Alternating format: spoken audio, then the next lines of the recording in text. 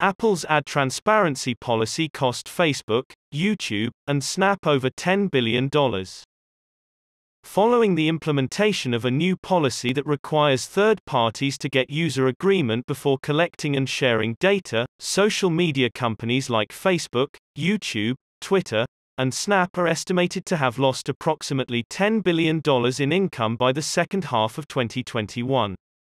According to a recent research by the Financial Times, the implementation of the app tracking transparency, at regulation lost the four largest social media companies roughly 12% of their income, or $9.85 billion.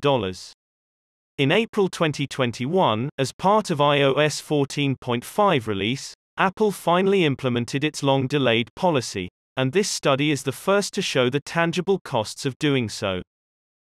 A story from the Revenue Times claims that, in absolute terms, Facebook has suffered the greatest financial loss.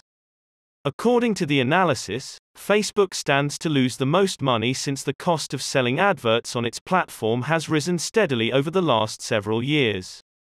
Snap, however, failed as a proportion of its business, owing to its reliance on mobile advertising. This is due to the fact that ATT mandates that applications seek users for permission before collecting and sharing data using Apple's device identifier. This restricts the ability of social media platforms to target iPhone owners as part of Apple's efforts to preserve and enhance user privacy. Research Advertisers reacted by reducing their spending at Snap and Facebook and moved their expenditures elsewhere, in particular for Android phone users and Apple's own booming ad business, the report added.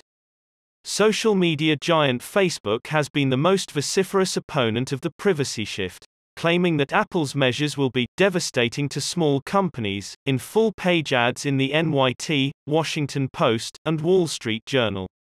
To counteract Facebook's business model, Apple blasted rival social media networks like Twitter for using user data to target ads and monitor clicks.